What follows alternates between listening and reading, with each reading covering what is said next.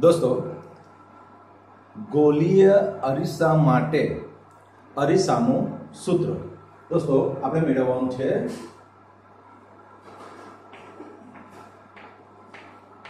અરીસાનું સૂત્ર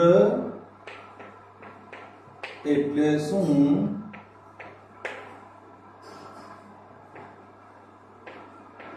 અરીસાનું સૂત્ર મેળવું. દોસ્તો, ખૂબ જ અગત્યનો પ્રશ્ન પરીક્ષામાં વારે વારે પૂછાય છે કે અરીસાનું સૂત્ર એટલે શું? અરીસાનું સૂત્ર કોને કહેવાય? અને તે અરીસાનું સૂત્ર મેળવો. દોસ્તો, સૌપ્રથમ આપણે વાત કરીશું અરીસાનું સૂત્ર એટલે શું? તો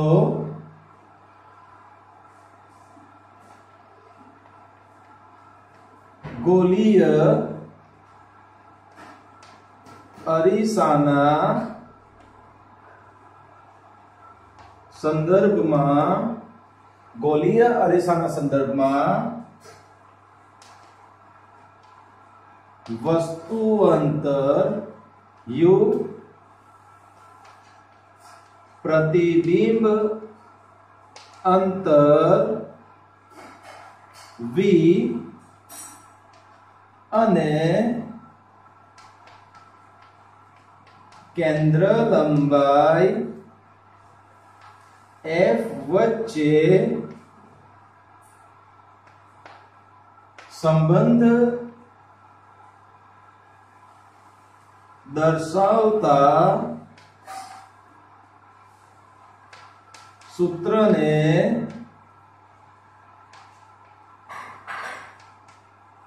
અરીસાનું સૂત્ર કહે છે. ગોલીય અરીસાના સંદર્ભમાં વસ્તુ અંતર, પ્રતિબિંબ અંતર અને તેની કેન્દ્ર લંબાઈ વચ્ચે સંબંધ દર્શાવતું સૂત્ર જે છે, તેને અરીસાનું સૂત્ર કહેવાય. દોસ્તો, આપણે સૌ પ્રથમ શું કરીશું કે એક આકૃતિ દોરીશું. આપણે અંતરગોળ અરીસા માટે તારવીશું અને નાના દર્પણ મુખવાળો એક અંતરગોળ અરીસો લઈએ અને તેના સંદર્ભમાં અરીસાનું સૂત્ર આપણે તારવીશું. તો સૌ પ્રથમ આપણે કહીએ, નાના દર્પણ મુખવાળા, નાના દર્પણ મુખવાળા અંતરગોળ અરીસાની સામે વસ્તુને વક્રતા કેન્દ્ર વક્રતા કેન્દ્રથી થોડું દૂર મૂકતા તેનું વાસ્તવિક ઉલટું અને વસ્તુ કરતા નાનું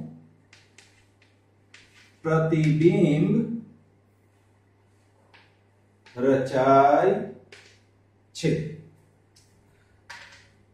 નાના દર્પણ મુખવાળા અરીસાની સામે જ્યારે વસ્તુને મૂકવામાં આવે છે. તો દોસ્તો, આપણે જરાક એક અરીસો તૈયાર કરી દઈએ.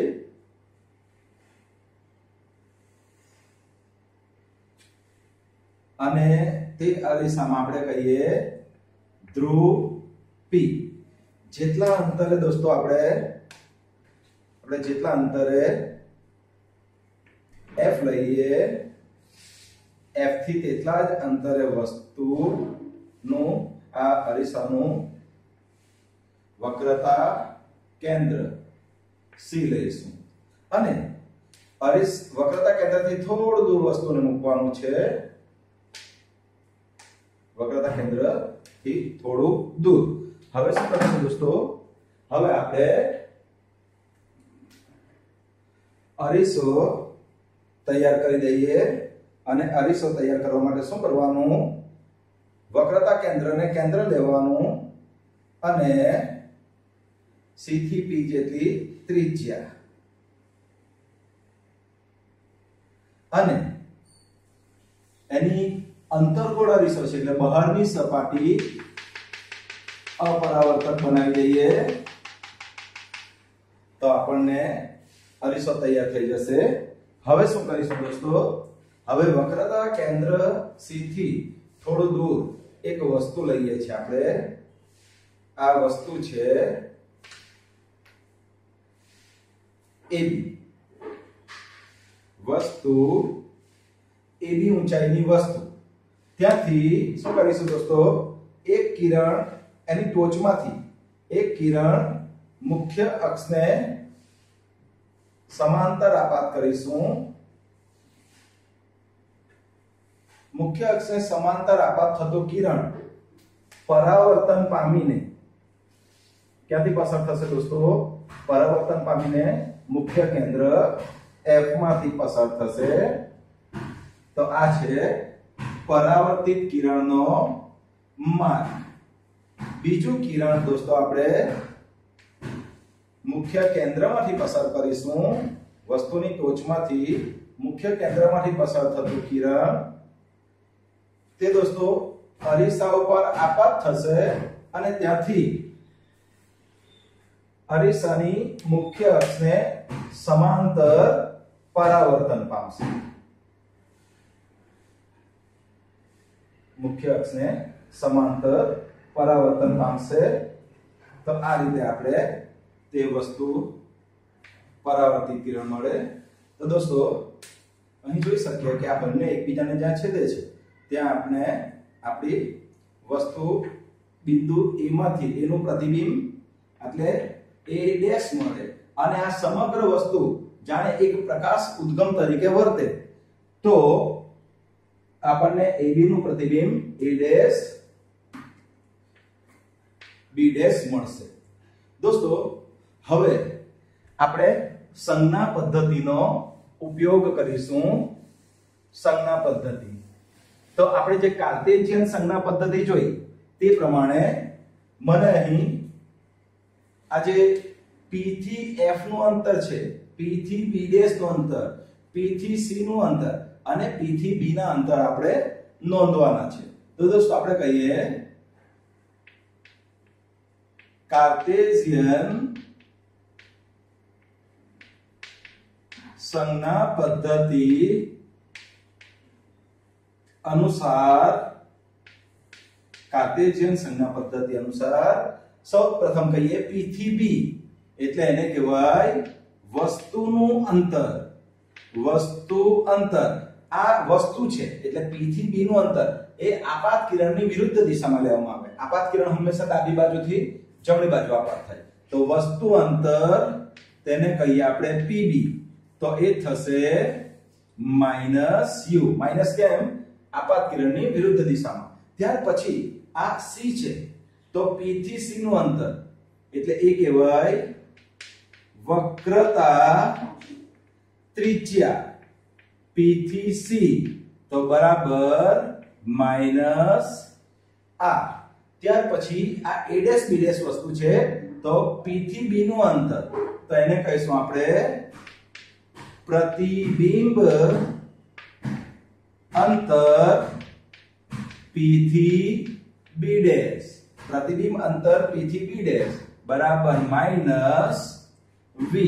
અને પછી P થી F નું અંતર. એ છે આપણી અરીસાની કેન્દ્ર લંબાઈ. તો કેન્દ્ર લંબાઈ P થી F. કેન્દ્ર લંબાઈ બરાબર માઇનસ F ઓકે દોસ્તો.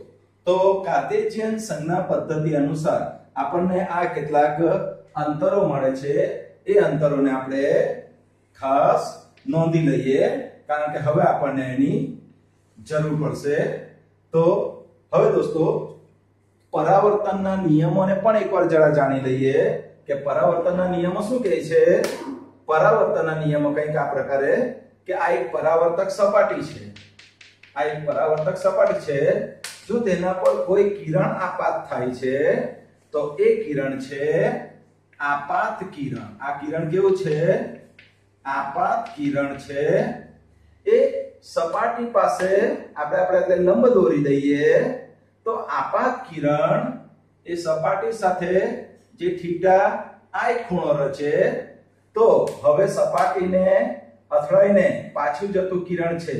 એને આપણે કહીશું પરાવર્તિત કિરણ. આ કિરણ છે પરાવર્તિત કિરણ. તો પરાવર્તિત કિરણ જે છે, તે લંબ સાથે જે ખૂણો બનાવશે, તેને આર કહીએ તો અહીં થીટા આઈ બરાબર થીટા આર. આને કહેવાય આપાત કોણ આપાત, કોણ અને આ છે દોસ્તો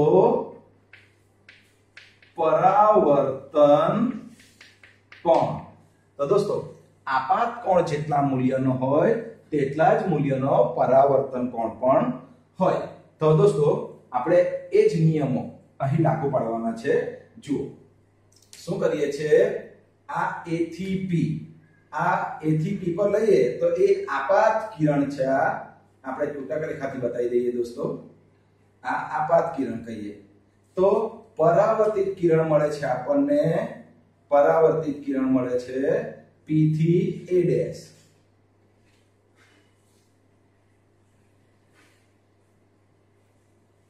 બરાબર છે? આ A થી P આપાત કિરણ. P P, A ડેશ પરાવર્તિત કિરણ. તો આ બંને જે ખૂણા બને છે, તે ખૂણા કેવા બનશે દોસ્તો?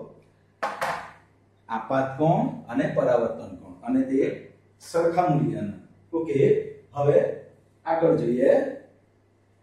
દોસ્તો, અહીં આપણે બે ત્રિકોણોની સમરૂપતા લેવાની છે અને તેને આધારે આપણે ચર્ચા કરીશું. તો સૌ પ્રથમ વાત કરીએ આપણે. ત્રિકોણ જુઓ દોસ્તો, અહીં ત્રિકોણની સમરૂપતાની ચર્ચા કરવાના છે. એટલે આપણે કયો ત્રિકોણ ત્રિકોણ એ બી પી અને બીજો ત્રિકોણ A dash B dash P A dash B dash P આ ત્રિકોણ અને બીજો ત્રિકોણ એ બી પી તો ત્રિકોણ એ ડેશ બી ડેશ પી અને ત્રિકોણ એ બી પી માં ત્રિકોણ ABP સમરૂપ છે. આ બંને ત્રિકોણો સમરૂપ છે. દોસ્તો, સમરૂપતાની શરત, ખૂબ શરત સમરૂપતાની શરત છે. તો આ એક ખૂણો, કાટખૂણો બંનેમાં, આ ખૂણો, કાટખૂણો અને બીજું, આ ખૂણો બંનેમાં સરખો છે. એટલે આપેલ બે ત્રિકોણોમાં અનુરૂપ ખૂણાઓની બે જોડ એકરૂપ છે. તો તે સમરૂપતા કહેવાય. ખૂબ ખૂબ સરસ સમરૂપતાની છે, એકરૂપતાની નથી. તો બે ત્રિકોણો સમરૂપ થશે. જો સમરૂપ હોય, તો એની બાજુઓના માપ સમપ્રમાણમાં હોય. એટલે કે a ડેશ b ડેશ ના છેદમાં ab બરાબર pb ડેશ ના છેદમાં pb આપણે લખી શકીએ માટે a ડેશ b ડેશ ના છેદમાં ab બરાબર pb ડેશ ના છેદમાં pb પરંતુ, દોસ્તો, a ડેશ b ડેશ છેદમાં ab હવે p થી b ડેશ p થી બી ડેશ એટલે અંતર કયું છે? માઇનસ વી અને પીબી પીબી એટલે અંતર કયું? માઇનસ યુ માટે આપણે લખી શકીએ એ ડેશ બી ડેશ ના છેદમાં ab બરાબર વી ના છેદમાં યુ આને નંબર એક આપી દઈએ ત્યારબાદ. દોસ્તો, ફરી પાછા હવે આપણે એક બીજા ત્રિકોણની જોડ જોવી છે અને એના માટે આપણે શું કરીશું? આપણે લઈએ આ એક, હા, રેખાખંડ એ એ ડેશ રચી દઈએ કે જે સીમાથી પસાર થાય છે. તો હવે મારી પાસે બે ત્રિકોણ, એ, બી, સી અને A dash B dash C. આ બંને ત્રિકોણો પણ સમરૂપ છે? તો ત્રિકોણ A dash, B dash c સમરૂપ ત્રિકોણ ABC છે. આ બંને ત્રિકોણ પણ જો આ ખૂણો કાટખૂણો બંનેમાં અને આ અભિકોણ કહેવાય. એટલે ખૂણાઓની બે જોડ કેવી છે? એકરૂપ છે. જો ખૂણાઓની બે જોડ એકરૂપ હોય તો બંને સમરૂપ કહેવાય ત્રિકોણો. તો ત્રિકોણ એ B, C અને ત્રિકોણ A B C માં સમરૂપ છે. માટે આપણે લખી શકીએ ગુણોત્તર.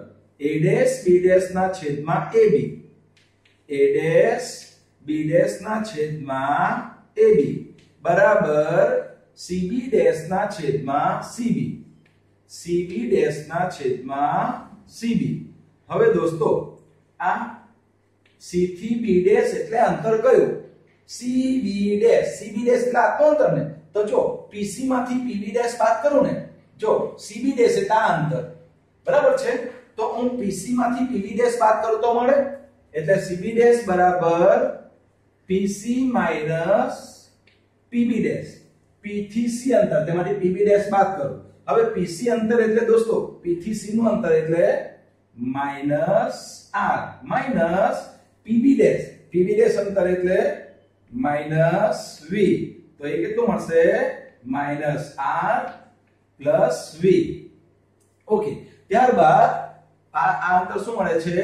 CB ડેશ હવે CB અંતર. C થી B નું અંતર. જુઓ તમે. C થી B નું અંતર. તો આ જે PB અંતર છે, તેમાંથી PC અંતર બાદ કરવાનું. C થી B એટલે આટલું અંતર. બરાબર છે? PB માંથી PC બાદ કરીશું તો PB PC P થી B નું અંતર, એમાંથી PC બાદ કરીશું. તો સીબી એટલે કે બીસી મળે. પરંતુ દોસ્તો પીબી અંતર એટલે કયું અંતર દોસ્તો? Minus U plus minus PC PC અંતર એટલે માઇનસ આર તો મને મળશે માઇનસ યુ પ્લસ આર એટલે શું મળ્યું આપણને? સીબી તો દોસ્તો, શું થશે આપણને? A B છેદમાં AB બરાબર. સીબી ડેશ એટલે માઇનસ આર પ્લસ વી છેદમાં સીબી એટલે માઇનસ યુ પ્લસ આર અને આ સૂત્રને કહીશું આપણે નંબર બે. હવે આપણે જોઈએ પરિણામ એક અને પરિણામ બે. બંનેમાં જે ડાબી બાજુ છે, પરિણામ એકમાં અને પરિણામ 2 માં જે ડાબી બાજુ છે એ એ ડેશ, બી ડેશ ના છેદમાં ab એ બંનેમાં કેવી છે? સામાન્ય દેખાય છે તો આપણને. તો આપણે એ બંનેને સરખાવીશું. તો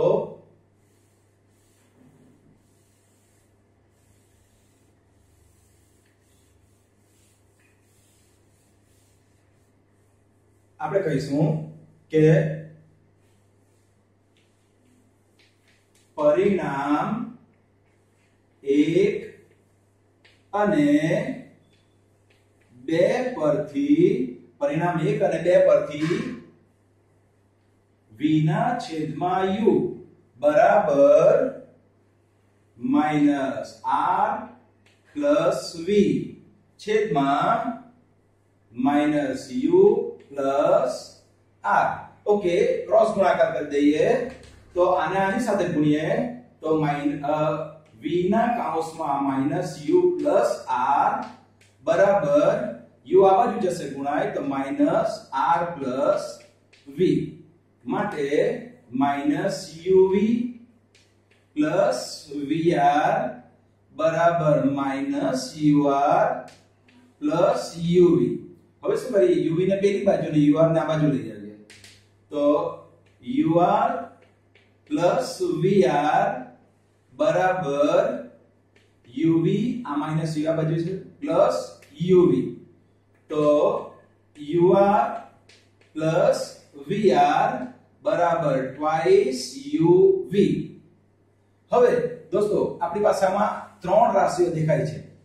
વસ્તુ અંતર, વક્રતા ત્રિજ્યા અને પ્રતિબિંબ અંતર. બરાબર છે? તો આપણે શું કરીએ? પ્રતિબિંબ અંતરનું મૂલ્ય 3 3 ને v r વડે ભાગતા. અને આને આપણે શું કરીએ છીએ? યુવીઆર વડે ભાગી દઈએ છીએ.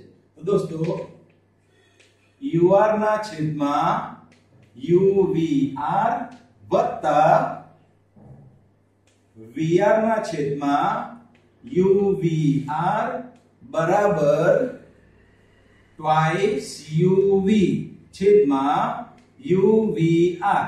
આપેલ સમીકરણ જે છે, આ સમીકરણને આપણે યુવીઆર વડે ભાગીએ છીએ. બરાબર છે? તો હવે જુઓ તમે.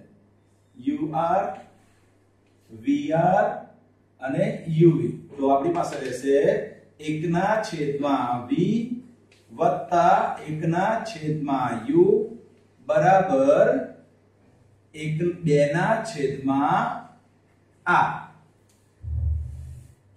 તો દોસ્તો, હવે આને એક સમીકરણ નંબર આપી દઈશું અને આને કહીએ આપણે ત્રણ. દોસ્તો, એક વાત કરવાની છે કે જ્યારે વસ્તુ અનંત અંતરે હોય, વસ્તુ જ્યારે અનંત અંતરે હોય, ત્યારે તેનું પ્રતિબિંબ ક્યાં રચાય છે? આપણે આકૃતિ જોઈએ, પહેલી આકૃતિ, બરાબર છે? દિશાની કે વસ્તુ અનંત અંતરે, આ અપરાવર્તક સપાટી. તો મુખ્ય અક્ષને સમાંતર આપાત થતા કિરણો.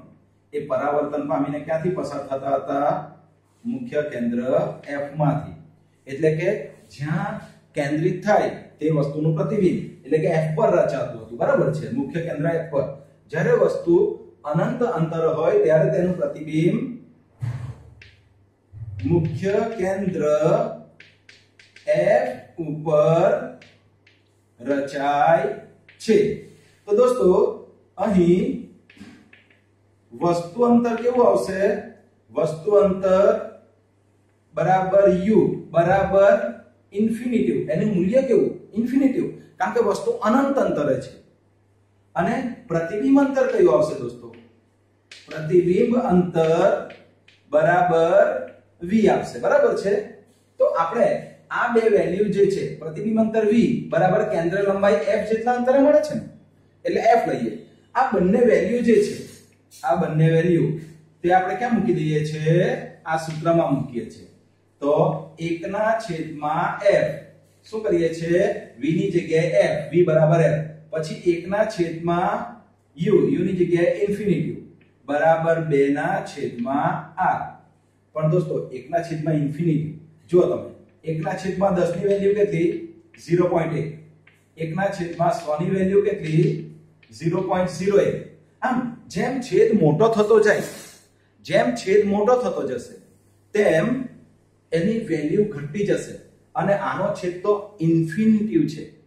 ધેટ મીન્સ કે આપેલ પદ જે છે, એકના છેદમાં ઇન્ફિનિટિવ તેની વેલ્યુ કેટલી આવશે? શૂન્ય. એટલે આપણે લઈએ એકના છેદમાં એફ વત્તા શૂન્ય બરાબર બે ના છેદમાં આર અને તેથી એકના છેદમાં એફ બરાબર બે ના છેદમાં આર આને પરિણામ નંબર ચાર કહીશું. અને આના આધારે બીજું એક સૂત્ર મળશે આપણને. શું મળશે દોસ્તો? આપણે આરને સૂત્રનો કર્તા બનાવી દઈએ. તો અથવા વ્યસ્ત લઈ લઈએ. તો f બરાબર r બાય 2 અથવા r બરાબર 2f r બરાબર 2f આ બંને વસ્તુ એક જ છે. બરાબર છે? આપણે ખાલી સૂત્રોનો કરતા જુદો જુદો બનાવ્યો છે તો દોસ્તો, હવે શું કરીશું આપણે? હવે આપણે આગળ વધીએ. અને આ જે વેલ્યુ છે, કે r બે ના છેદમાં આર. તો તેની જગ્યાએ એક ના છેદમાં એફ લખી દઈએ. તો હવે આપણે શું કરીશું?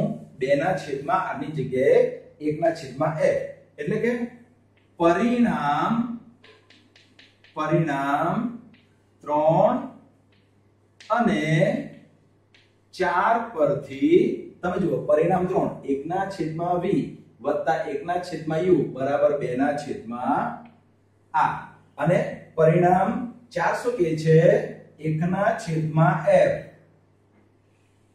બરાબર બે ના છેદમાં આર. એટલે બે ના છેદમાં આરની જગ્યાએ એકના છેદમાં એફ મૂકી શકાય. તો પરિણામ આપણે લખી- શકીએ. એકના છેદમાં વી વત્તા એકના છેદમાં યુ બરાબર. આ બે ના છેદમાં આર છે તેની જગ્યાએ. એકના છેદમાં એફ. આપેલ સૂત્રને આપેલ સૂત્રને